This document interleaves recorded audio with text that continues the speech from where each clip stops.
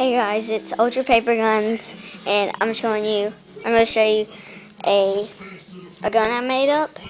Um, it's kind of like T9OOS's gun.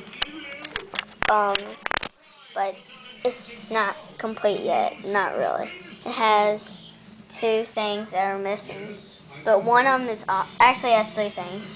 No, four, because that needs to be covered up, and um, well, I'm going to try to set this up somewhere.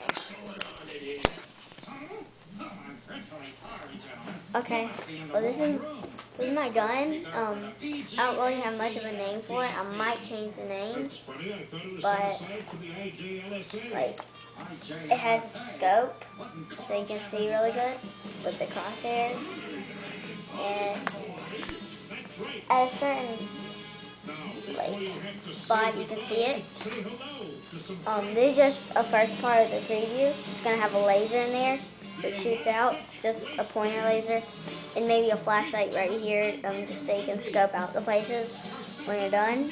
And has the trigger. Like when the laser comes in, they use they usually have a little button right there.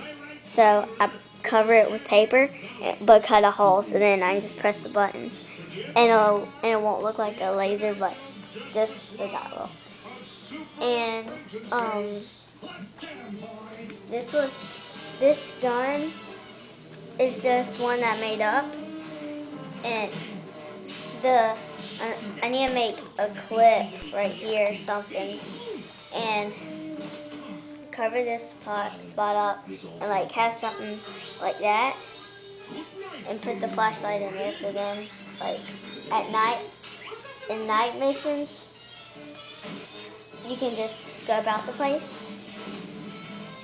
But if you don't have night vision goggles then you can't then you don't need to use you, well then you'll need to use it Okay, thanks for watching this video, and please show other people this video and subscribe.